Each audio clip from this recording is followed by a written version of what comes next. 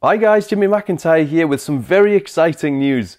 I'm delighted to bring to you Lumi 32, a world first and the next generation of luminosity masks.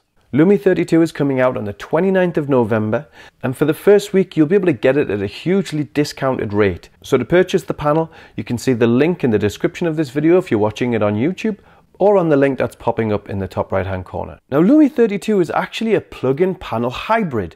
And what that means is it looks like a Photoshop panel, but actually all of the calculations are done outside of Photoshop. So I was able to use my experience in exposure blending to design the best possible luminosity masks. So now we don't have to rely on the limited luminosity masks in Photoshop.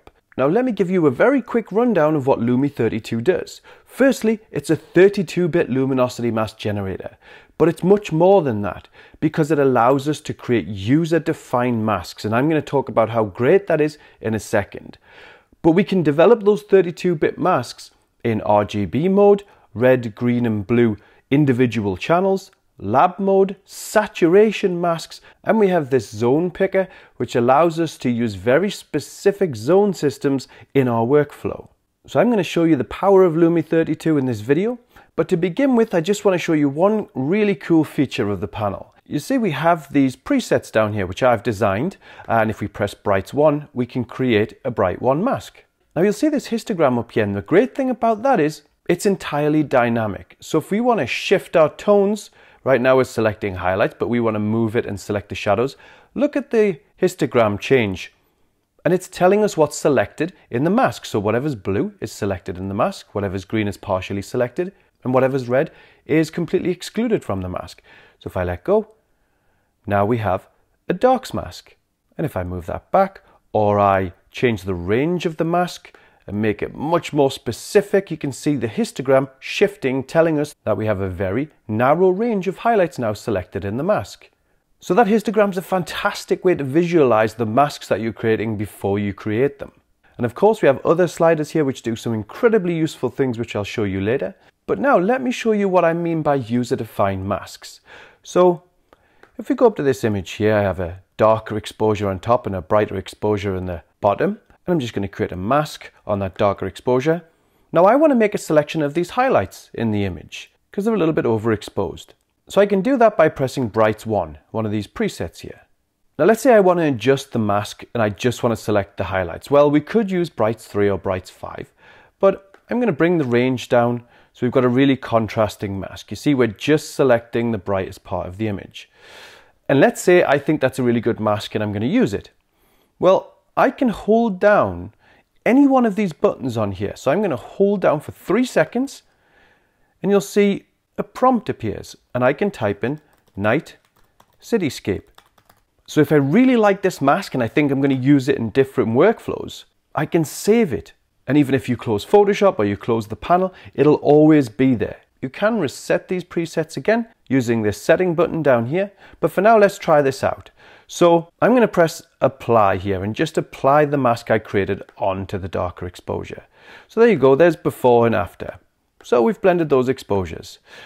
Now let's say a couple of days later I'm working on another night cityscape and I want to do the same thing.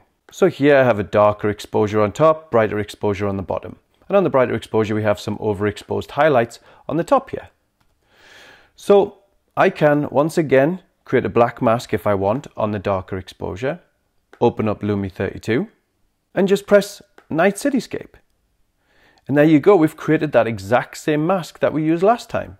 And if I press select and a white brush, make sure I've got the mask selected, hide the marching ants, I can then paint in the areas in this image that are overexposed. So I can zoom in now, choose the brush again and just paint in that area. So there's before and after. And let me move along a little bit to this area up here. And there's before and after again, you see? So we've got these really convenient ways to save our masks anytime you want and access them anytime down the line. Now when I talk about Lumi 32 creating masks outside of Photoshop, what I mean is Photoshop has had these masks for a long time. They haven't changed or evolved in any way.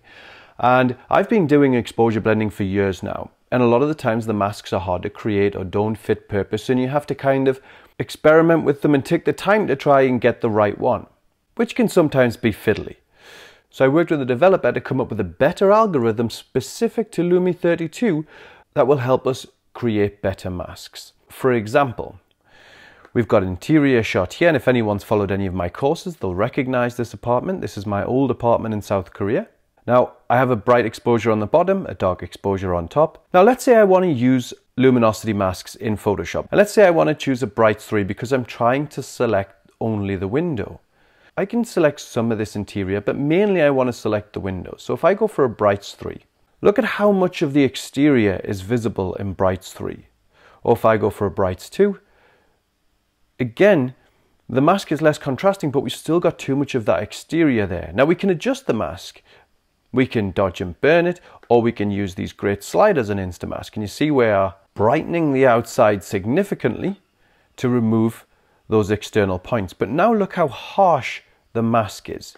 Now if we bring down this mid-tone slider, that does actually help a bit. So we do come out with the less striking mask. If I keep bringing that down, however, it's going to restore some of the details in the window, which we don't want. But with Lumi 32, we kind of bypass all of that straight away. So I'm just going to create a bright 3 mask. And now look at the window. Almost instantly we have probably only 30% of what we had there before. Most of the window's white and we just have some faint details here. So we are separating those tones much more efficiently than Photoshop does. And in order to make this a better selection, we can raise the amplification, which basically only affects the selected parts of the image. So when I was bringing the highlight slider along before in Instamask, it was affecting all of the tones. But amplification here, and as you can see, the histogram's moving along, telling us what's happening. It's only affecting the selected tones. So if I let go of that, you see we've almost eradicated the window and we haven't affected the shadows. And beautifully, this mask is much smoother. The transition between the shadows and the highlights is much smoother. If we want to make an even smoother mask, we can bring the smoothness down to the left here. And you see, that softens the mask even more, including the shadows. So let's look at some other things in Lumi 32. Well, we have also zone masks. So we can choose zone pick here, and that will allow us to choose from 0 to 10 specific tones in our image. So let's say I'm going to go for 9 and press OK. So that has given us a selection of the highlights in the water and some of the mountain. And we can increase that zone just a little bit if we want by bringing up range. And you see we've increased the brightness in the water in the foreground and more of the mountain. And if I want, I can press curves here and that will create a curves mask. And I can bring up the curve and add extra brightness specifically to those areas just to give it a little bit more kick.